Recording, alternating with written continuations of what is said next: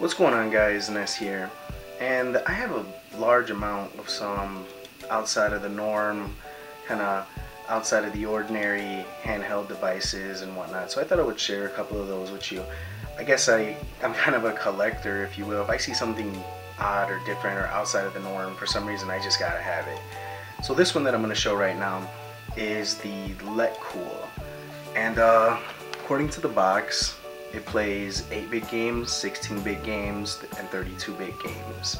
Um, but that's not the most unique feature because there are a ton of emulation devices and MP5 players out there that kind of do the same thing. What makes this one unique is that, as you can see right here, it's advertised as a two-player game station. And I'm going to get into that a little bit more in a second. So what I'm going to do is I'm going to take the contents of this box out and lay it all out for you. So first you have the console itself, which is very reminiscent of a DS, but minus the upper portion of it. I like it. I mean, it's got a really good feel to it. Feels good to hold. Buttons are nice, and that's the unit pretty much. You got your manual, device manual. Uh, most of it is in uh, broken English.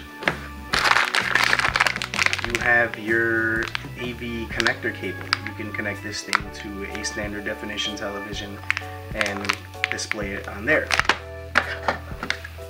Charger, North American style charger,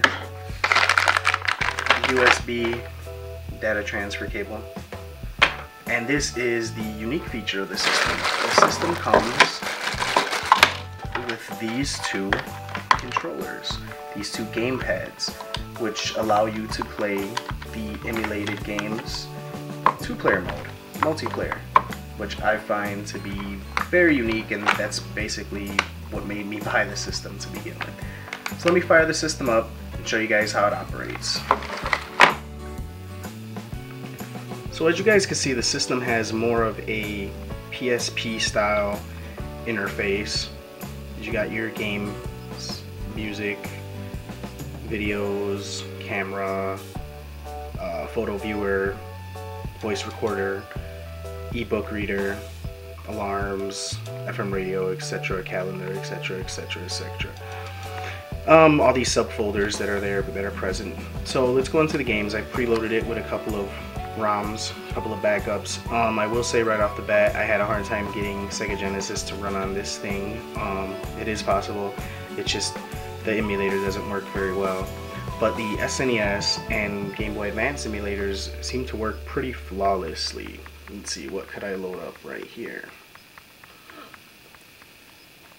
I will load up Mega Man X. Turn up the volume a little.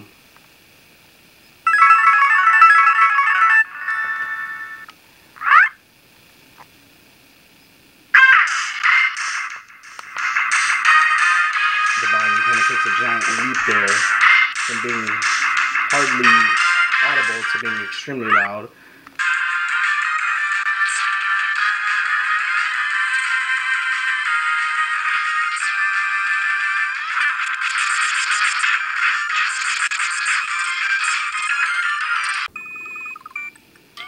I'm running Super Mario World.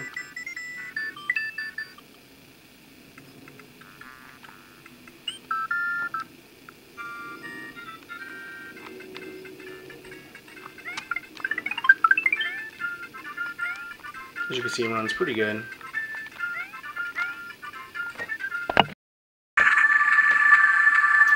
Here I am running Mega Man Zero with the Game Boy Advance emulator. Now this uh, ROM seems to be one that other handheld emulation devices have a hard time running. This one actually runs it pretty good.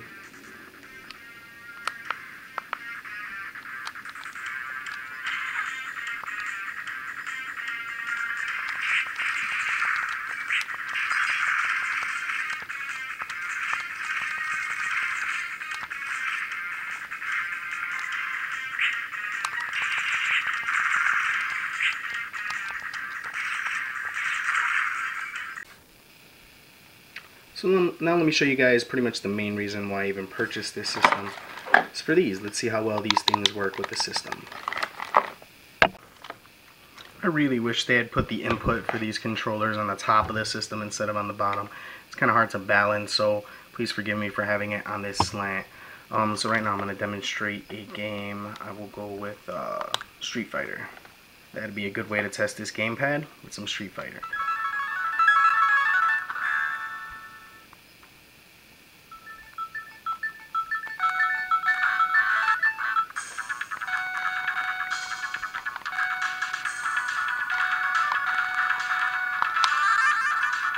Once again, guys, I do apologize for that slant.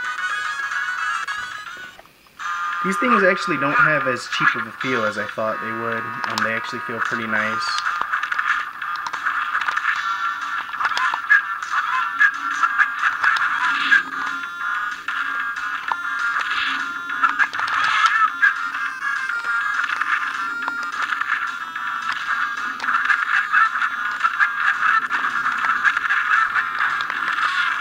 Dang.